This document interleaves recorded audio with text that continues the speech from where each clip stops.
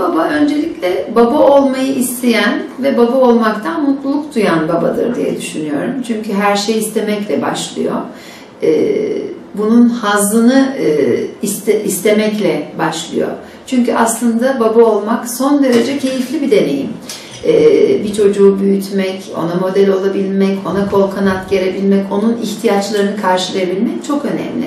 Ama ihtiyaç denildiğinde babaların sanki daha çok fiziksel ve maddesel ihtiyaçları karşılayan e, kişiler olduğunu düşünüyoruz. Böyle bir algımız var. Bazı babaların da e, algısı böyle. Ama hani günümüz toplumunda birçok baba artık bunun böyle bir babalık olmadığının, sadece çocuğun maddi ihtiyaçlarını karşılamanın yeterli olmadığının bilincinde ne iyi ki. ihtiyaçlar dediğimizde bir çocuğun en önemli ihtiyacı aslında babasının yanında olduğunu, kendisini sevdiğini, kendisine güven verdiğini, kendisine desteklediğini bilmektir. Ve her koşulda babası için değerli olduğunu bilmektir. E, maalesef birçok çocuk babasının kendisini belirli koşullar yerine getirirse seveceğini düşünüyor. Anne babalar da maalesef bunun çok farkında olmuyorlar. Bizim merkezimize başvuran çocuklarla yapmış olduğumuz çalışmalarda e, bunu görüyoruz. E, işte anne baba büyük bir özenle çocuğunu alıyor, merkezinize getiriyor ve bir takım değerlendirmelere e, tabi tutmamızı istiyor.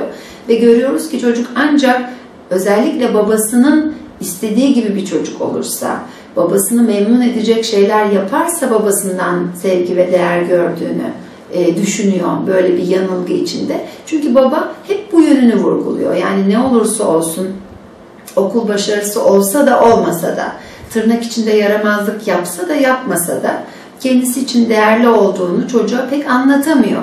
Zaman zaman sözel olarak söylese de bu içsel bir şeye dönüşemiyor. O yüzden de hani destekleyen, her zaman var olan, her zaman güven veren, e, hep gölge gibi onun hayatında peşinde destek verecek e, olan biri olduğunu düşünmesi, çocuğun bu güveni hissetmesi çok önemli.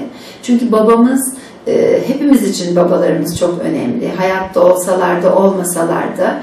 E, çünkü onların varlığı, onların desteğiyle ayakta duruyoruz e, çoğu zaman. E, hayatta olmasalar bile o olsaydı şöyle düşünürdü, o olsaydı böyle e, yapardı, beni böyle desteklerdi diyerek kendimize bir güven kazanıp bu şekilde yolumuza devam ediyoruz. O yüzden de iyi bir baba denildiğinde benim aklıma çocuğunu her koşulda her zaman destekleyen, yanında yer alan, tabii ki hatalarını da öğreten, hata yapmamayı da öğreten daha çok iyi özelliklerini gören ve çocuğu onore ederek, onurlandırarak, onu öven ve onu kendi ayakları üzerinde durmak için iyi destekleyen bir baba diye düşünüyorum.